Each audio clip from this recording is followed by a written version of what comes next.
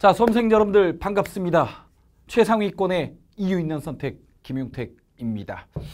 자, 여러분들 9평 이제 한 달 정도밖에 남질 않았습니다. 한 달도 채 안 남았네요. 오늘 녹화하는 게 지금 8월 2일이니까 그리고 9평은 9월 1일. 아, 한 달도 채 안 남았습니다.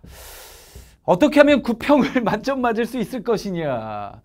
아, 만점이 아니더라도 나 1등급 너무너무 원해요. 막 이런 분들 되게 많을 거 아니에요. 뭐 고3 수험생도 있고 반수생도 있고 재수쭉 해오는 분들도 있고 아, 어떻게 하면 정법 만점 맞을 수 있을까? 아 김용택 수업 들으면은 다 만점이라던데 하고 들었는데 어이씨 들어도 만점은 안 나오는 경우도 있고 또 어, 저하고 같이 쭉 해오던 분들이 아닌 그런 분들도 있을 것 아니겠어요? 어떻게 하면 이 만점을 맞는데 좀 효율적일까? 아, 그 부분에 대해서 팁을 좀 드리려고 되게 오랜만에 제가 캐스트를 녹화하게 되었습니다. 저는 제일 중요하게 생각하는 건 뭐 어떤 비법, 스킬 그런 거 진짜 싫어해요. 안 좋아해요. 제일 중요한 건 기본이에요. 기본. 그러니까 당연히 누구나 해야 될 것들을 하면 좋은 점수가 나오게 되어 있어요. 그걸 여러분들께 강조 드리도록 하겠습니다. 뭐 스킬, 비법 이런 거 저 별로 안 좋아합니다. 그러니까 자 여러분들 정법이나 뭐 다른 과목도 마찬가지인데 1등급을 받기 위해서 가장 기본이 되는 것은 당연히 개념이에요 개념. 개념 완성이 되어 있느냐? 물론 완성이 도대체 어디 있겠어요? 그죠? 그렇지만 어쨌든 개념 완성반 강좌를 1강부터 마지막 완강까지 했느냐? 그리고 그 개념 완성반 강좌에 들어있는 컨텐츠들 그 교재 안에 들어있는 문제들이랄지 이런 것들을 꾸준하게 다 소화했느냐? 복습 예습 뭐 예습은 아니더라도 강의 듣고 복습을 충실했느냐? 이제 이거 이거. 이거 기본이죠 기본. 가장 기본이죠. 요것만 잘 돼 있어도 웬만하면 1등급 나온다 사실. 이게 안 돼 있어. 음. 그 다음에 또 하나 개념 완성이 돼 있어. 또 하나 뭐가 돼 있어야 될까요? 아, 문제풀이가 돼야죠. 문제 연습. 요게 되어 있으면 사실 요거 되어 있으면 1등급 이상 나오지. 아무리 못해도 실수해도 2등급은 나오지요. 예, 근데 이게 안 돼 있어서 그런 거야. 뭐 그러니까 여러분들 고민 너무 하지 마세요. 내가 왜 점수가 안 나올까? 9평 어떻게 하면 만점 나올까? 나는 왜 점수가 3등급, 4등급밖에 안 나올까? 계속. 이게 안 돼 있으니까 그런 거예요. 어. 그래서 지금 지금 이 시점의 현장에서도 보면은 가끔 보면은 선생님 저는 개념이 아직 덜돼 있는데 단원별 모의고사 하는데 너무 버거워요 막 이런 애들이 있어. 그러면 제가 뭐라고 할까요? 예, 수강증 환불하시고 개념 완성반 강좌를 충실히 들으세요. 이렇게 상담을 합니다. 예. 그 학생한테 그게 도움이 되는 거야. 자, 아직까지도 개념 완성이 안 돼. 그러니까 분류를 해보자면 예를 들어 이런 경우. 자, 개념도 안 돼 있어요. 개념 완성반 강좌도 안 돼 있다. 그러면 당연히 여러분들 학습법 뭐 해야 돼요? 당연히 개념 완성을 권합니다. 뭐 저를 비롯한 정법 선생님들 개념 완성반 강좌 당연히 다 훌륭할 것이고 그 개념 완성반 강좌에 수능에 필요한 모든 것들을 다 넣어놔요. 사실 이 안에 문제풀이도 어느 정도 돼 있단 말이에요. 이거 꼭 하세요. 이것만 하더라도 여러분들 구평에서 못해도 3, 2등급은 나요. 못해도 2등급. 제대로 하면. 예. 그 다음에 두 번째 자 개념은 되어 있어요. 그런데 개념은 되어 있는데 문풀이 지금 좀 약한 것 같아요. 자, 근데 문제 문제 연습을 하는데 문제는 또 두 가지로 나눌 수 있거든요. 또 하나는 자, 그러니까 기출 문제와 그다음에 EBS 문항이 있어요.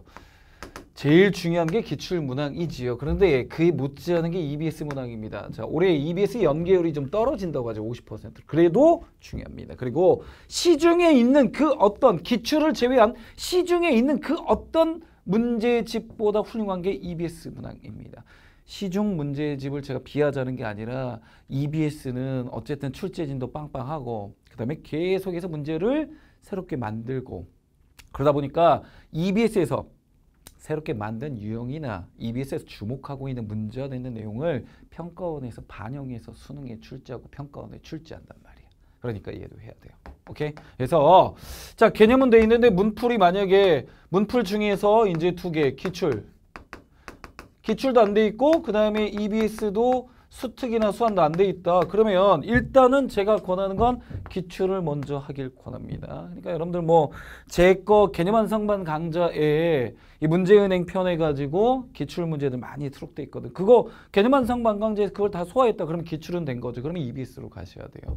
수특 수완인데 수특 먼저 하고 그다음에 수완 이렇게 가시면 돼요. 근데 만약에 그냥 개념 완성만 강좌만 듣고 문제풀이 연습은 잘 안 됐다. 그러면 기출을 꼭 돌리시기 바랍니다. 제 거 강좌 없다. 제 거 강좌 안 들었다. 그러면 예, 여러분들 뭐 엄마텅 뭐 이런 문제집 있잖아요. 그거 사서라도 푸세요.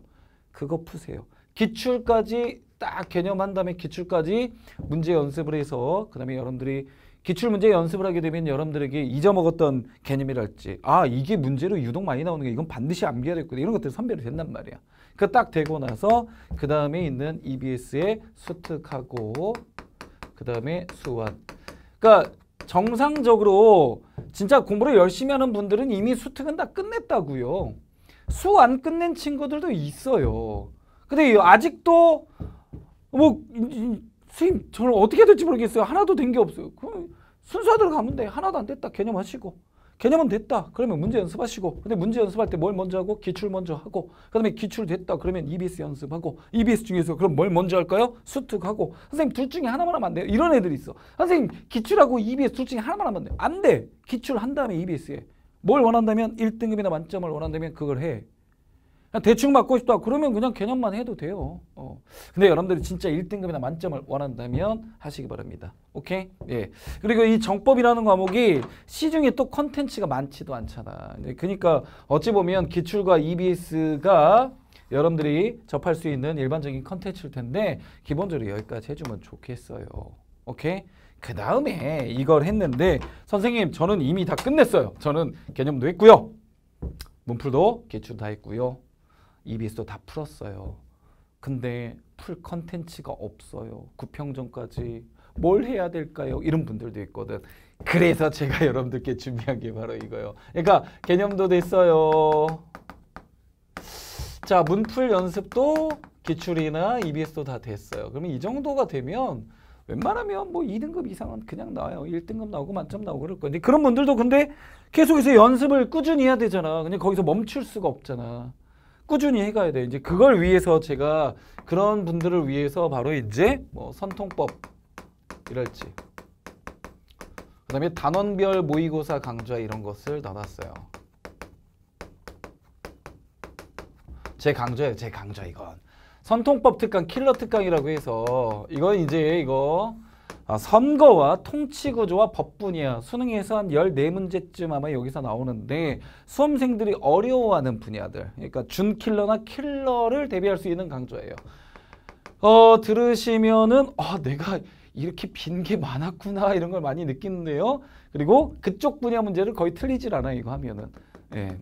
그 다음에 선톡법도 했다 그러면 단원별 모의고사도 하시면 좋아요. 단원별 모의고사는 이제 전 과정, 전 범위에 걸쳐서 수능에 필요한 모든 정법 내용을 또 한번 다시 한번 문제로 문제 풀면서 정리하는 거거든. 그러니까 뭐 선생님 이 둘 중에서 시간이 한 달밖에 안 남았는데 둘 중에 하나, 하나만 하면 뭐, 뭐 해야 될까요? 그러면은 어, 여러분들이 만약에 선거나 통치구조나 법 분야, 특정 분야에 약하다 그러면 이거 가시고 아, 총체적으로 한번 쭉 정리해 가고 싶다 그러면은 요거 가시면 돼요. 둘 다 여러분들한테 도움이 될 거예요. 둘 다 하면 더 좋겠지만 분명히 둘 다 하기에는 시간이 버거울 수 있어. 구평 전까지는. 그렇다면 둘 중에 아무거나 필요에 따라서 선택하셔도 좋을 것 같습니다. 그리고 나중에 여러분들이 어 예를 들어 아 선생님 저는 선거나 이 법 분야가 약하니까 선통법 특강을 들을래요. 그럼 그렇게 하세요. 그리고 난 다음에 단원별 모의고사도 꼭 하시기 바랍니다. 이게 되게 중요한 컬이에요. 그러니까 제가 어, 대치동이나 이렇게 분당이나 이렇게 현장에서 작년이나 재작년에 이거 다 그러니까 개념 완성반 강좌하고 그 다음에 선통법 특강하고 그 다음에 단원별 모의고사하고 그 다음에 실전 모의고사하고 이렇게 마무리 해 가는데 이 커리를 쭉 탄 친구들 대부분 다 정법 엄청나게 좋은 성적이 나와요. 음. 근데 이제 어떤 분들은 선생님 이 중에서 그냥 한 두 개만 하고 싶어요 이러는데 물론 두 개만 해도 도움이 되겠지만 여러분들이 진정으로 만점 빈틈없이 정말로 완벽히 대비해 가고 싶다 그러면은 예. 뭐 구평 전까지는 뭐 둘 중에 하나만 한다 할지라도 그 다음에 어, 수능 전에는 다른 커리까지 같이 하셨으면 좋겠다 이런 생각이 들어요. 그러니까 특별히 여러분들한테 엄청난 비법을 이 시간에 말씀드리는 게 아니에요. 이거 이거 모르나? 여러분들 이거 모르 모르냐 알잖아.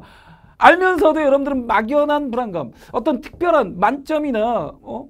뭐 1등급을 해서 특별한 비법이 있는 건 아닌가 라고 하면서 여러분들이 이걸 봤을 거 아니에요. 저는 특별한 비법은 없다고 봅니다. 공부의 royal road 특별한 비법 이런 거 별로 없어요. 기본에 충실하면 돼요. 해야 할 것을 하면 됩니다. 개념 안 됐으면 개념 하시고 개념했다 문제 연습이 불충분하다 문제 연습하시고 문제 연습하는데 기출이 기본이고 그 다음에 수특 수한 하시고 수특 수한까지 됐다 그러면은 제 거 컨텐츠 좀 더 있으니까 그거 통해서 좀 더 해보도록 하시고 이렇게 가면 돼요. 꾸준히 연습하시고 알겠죠? 음. 그렇게 하면 돼. 그래서 뜨거운 여름 구평 전까지는 더울 거 아니에요. 아마 8월 한 15일 전후까지는 굉장히 더울 걸로 예상이 돼요. 보통 그래요. 8월 15일 딱 광복절 지나면은 이 태풍이 한 번쯤 그때쯤에 와요. 태풍 딱 끝나고 나면 갑자기 기온이 어, 아침 저녁으로는 되게 서늘한 느낌이 들어요. 요즘은 그렇잖아. 아침에 딱 샤워 딱 끝내고 나왔는데 수건으로 말 이렇게 몸을 닦으면서 땀이 또 나잖아요. 요즘 진짜 기분 더럽죠 그때. PD님 굉장히 공감하시네요 지금. 오늘 아침에도 그러셨나 봐요. 아 정말 짜증 나죠, 그죠? 근데 막 아이씨 그럴 때 이런 생각이 든다고 야 수능 빨리 봤으면 좋겠다 아, 지겨워 죽겠네 막 이런 생각이 들어요 사실 근데 막상 이제 100일 얼마 안 남았잖아 그리고 딱 아침에 샤워 끝내고 나와서 아침에 이제 학교나 학원이나 이런 데 딱 나가려고 하는데 바람이 서늘한 바람이 싹 스쳐 지나가요. 그러면 간담이 서늘해져요. 아 가을이구나. 저때 또 얼마 안 남았구나. 100일 전까지는 아, 시간이 더럽게 안 가. 근데 딱 8월 15일쯤 돼가지고 이제 90일쯤 딱 남잖아요. 아 막 시간이 미친 듯이 막 갑니다. 졸라 빨리 가요. 그럴 땐막 어, 막 허둥지둥 이럴 텐데 허둥지둥 하지 마시고 할 것만 하면 된다. 여러분들은 할 것만 하세요. 그러면 여러분들이 원하는 목표에 충분히 도달할 수 있습니다. 아시겠죠?